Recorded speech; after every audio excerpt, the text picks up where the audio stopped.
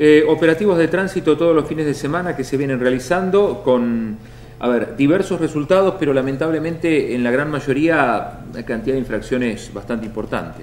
Sí, realmente en todo esto que ha sido el receso de, eh, escolar, eh, hemos tenido casi 130 secuestros y llegamos casi, a, la, sí, casi a las mil infracciones, a los mil artículos infraccionados. Eh, a pesar de que hubo muchos días que estuvo feo el tiempo, es decir, eh, con lluvia y, que uno a veces eh, trata de evitar algunos controles por el riesgo que ocasionalmente, ¿no es cierto?, está el asfalto mojado y, bueno, el control puede terminar en, otra cosa que no queremos. fue muy alta y, bueno, y se sigue sosteniendo en el día a día, lamentablemente con cantidad de infracciones y cantidad de secuestros también eh, que hacen, ¿no es cierto?, a, los controles. Sí es cierto que hemos intensificado los controles en diferentes horarios y eh, con más personal, ya que disponemos, no tenemos que cubrir este, los establecimientos escolares, entonces disponemos el personal eh, casi todo para, para hacer esta actividad. Correcto. Bien. En, la oportunidad de otro de los controles que realizaron hace, hace días atrás, Walter también dijo, bueno, a los tandilenses no nos gusta cumplir las normas. Y esto se ve y se nota en, en, cada control que se realiza, teniendo en cuenta ¿no? la cantidad de, infracciones y de secuestros muchas veces. Sí, en realidad yo cuando me dirigí a eso, una visión personal, por supuesto, no, no tiene ningún sentido científico y que lo corrobore, pero eh, nosotros habitualmente al trabajo que hacemos eh, notamos a diario. Yo daba un ejemplo que no es eh, simplemente en el tránsito tandilense, en las cuestiones cotidianas. Eh, yo todas las mañanas me bajo del colectivo y en San Martín, por ejemplo, en la calle San Martín entre Rodríguez y 9 de Julio hay seis cestos de basura. La gente lo tira en la vereda es decir, eh, o la golosina o terminó el atado de cigarrillo, teniendo el cesto ahí lo tira a la vereda. O sea que es una norma que tenemos que cumplir, no tirarla o arrojar este residuos en la calle y sin embargo lo hacemos. Sabemos que tenemos que sacar la, la bolsa de basura a cierto horario eh, tal vez el, en recorrido no pasa el domingo y el viernes de la noche la gente tiene los canastos llenos de basura. Eh, son cuestiones eh, que nos hacen y nos reflejan que muchas veces que tenemos normas que cumplir no las cumplimos. Este, así que, y en el tránsito es una cuestión más riesgosa porque estamos hablando, ¿no es cierto?, de poder tener algún accidente y por sobre todas las cosas se tratan de vidas humanas, ¿no es cierto?, que, que son totalmente evitables. Lamentablemente, aquel que tiene todas las cosas en regla no tiene ningún problema, al contrario, eh, que son los que menos eh, mandan mensaje o, eh, o protestan, ¿no es cierto?, por diferentes medios, porque la verdad que los ven y, nos hacen llegar este, el agradecimiento por los controles. Estas vacaciones tuvimos una gran cantidad de controles con turistas los turistas quedaron asombrados en mucha parte por el control que había y además agradecieron el control que había. Y la mayoría, este, antes de irse, el turista siempre eh, nos agradece eh, por la ciudad que tenemos. Eh, esta es una constante, no simplemente en mi persona, o que comparto con los inspectores los, los operativos, sino los mismos inspectores han recibido siempre del turista un trato muy, muy amable. Correcto. Eh, vamos a lo que pasó, estamos viendo, nosotros aquí le contamos a la gente de la radio algunas imágenes de, la cámara, de las cámaras de seguridad después que ocurrió este hecho allí en la zona del parque. ¿Qué fue lo que pasó? Sí, bien. Este, nosotros el domingo hicimos dos operativos en conjunto, uno que estaba en Saavedra Lama, donde es el Paseo de los Españoles, en el lago, y otro en este, la Diagonal Lilia, donde está la Fuente Nereida, que es en el que estaba yo.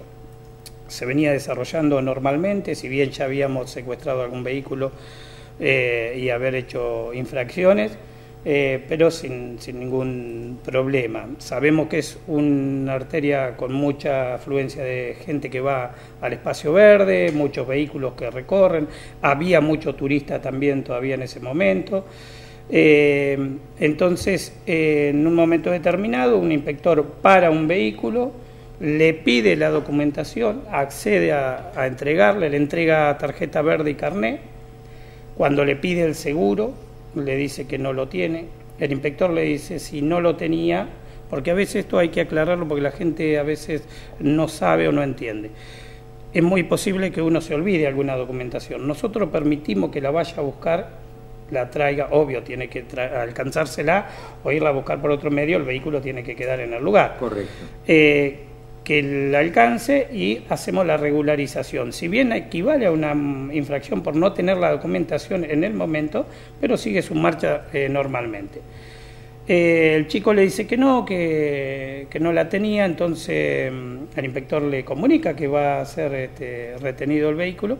En ese momento pone el cambio y sale en la marcha, dejándole la tarjeta verde y el carné al inspector en la mano.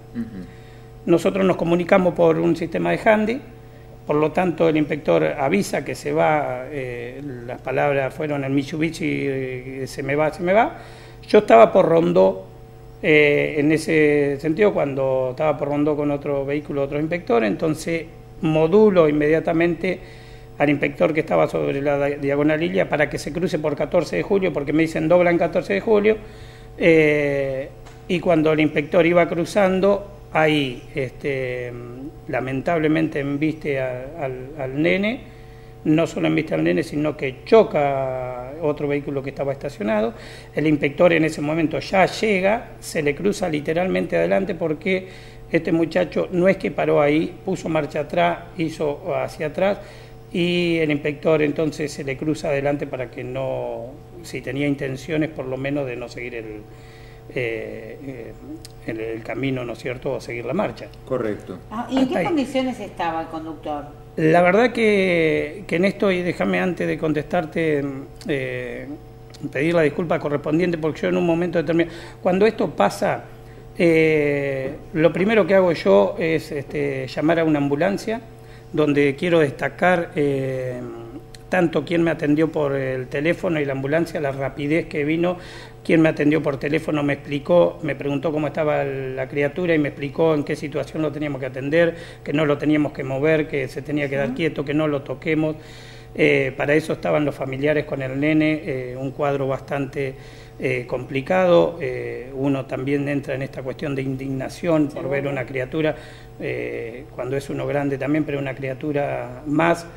Así que lo que hago es llamar la ambulancia, me acerco, ya había mucha gente conteniendo a los padres este, y, teniendo al, nene, haciéndole algún chiste como para que el nene esté, la verdad que estaba totalmente asustado.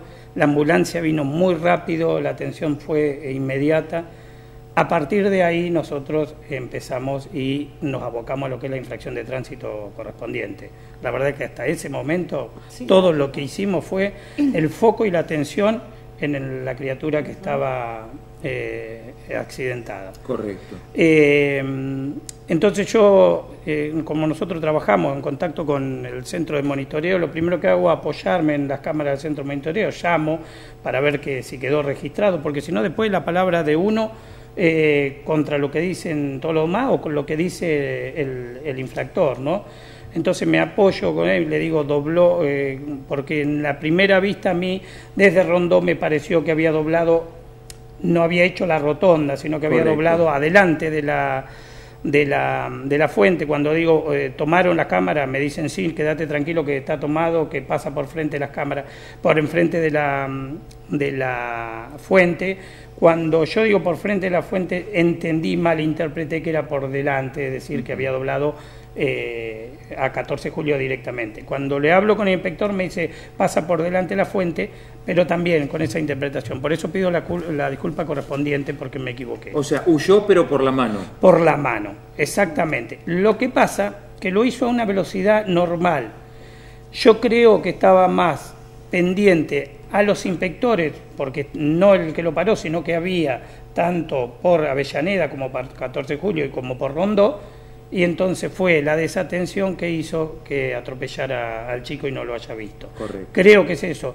Eh, la velocidad no era fuerte, había mucha cantidad de autos en un momento, eh, lo van a ver en, la imagen. De hecho, cuando, cuando llega el cronista de ustedes y había otro medio también, yo mismo le digo que pidan las imágenes a la cámara porque había quedado registrado por lo menos eh, cuando se va y cuando dobla y que, que, choca a la criatura. ¿no? Correcto. En esta circunstancia uno siempre apela a, a la, preocupación de quien, y siempre pasa muchas veces de que tiene un accidente y uno está predispuesto a tenerlo, apela a que quien protagonizó el accidente por lo menos esté en un estado de, de, asombro de última. La verdad que nosotros en ningún momento lo vimos a este chico preocupado. Más, iba con una señorita que lo acompañaba. Eh, cuando nosotros nos dirigimos a, una vez que se va la ambulancia y nos dirigimos a, todo lo que es la falta de tránsito, el muchacho más miró el vehículo a ver cómo le, cómo le había quedado. Cuando lo interpela quien lo había chocado, que estaba estacionado, estaba el muchacho ahí, que circunstancialmente estaba con su familia, con sus chicos en el espacio verde de la Diagonal Lilia, le pregunta a ver si tenía seguro, le dice, no, no tengo. Bueno, una cosa es que no lo tenga, otra cosa es que te lo pide. No, no lo tengo directamente. Pues quédate tranquilo, este, yo tengo el mejor taller chapita de Tandil y te lo arreglo. Eso fueron la, Después vino un grupo de amigos eh, que se quedaron ahí, la gente lo vio, eh, una charla muy distendida, con sonrisas. La verdad que eh, una indignación bastante particular y que le hace pensar a uno, a mí en particular, que soy el responsable, que después esto, muchas dicen, bueno, pasó, no, uno se lleva la carga, el estrés bastante importante, me hace cuestionar a ver por qué hago un operativo en tal lugar. Eh, ¿Vos te cuestionás eso? Eh, muchas veces sí. Te consulto lo siguiente, eh, el chiquito estaba con la familia ahí en ese lugar, en, la Plaza Moreno, esto obviamente que te voy a preguntar no justifica absolutamente nada de lo que pasó, pero eh, el chiquito estaba cruzando entre los autos, ¿en qué circunstancias? ¿Se pudo conocer eso? Nosotros en realidad, como, como verás, estamos más eh, abocados a lo que son los vehículos. lo sé, lo sé. Eh, y hay mucha cantidad de gente transitando.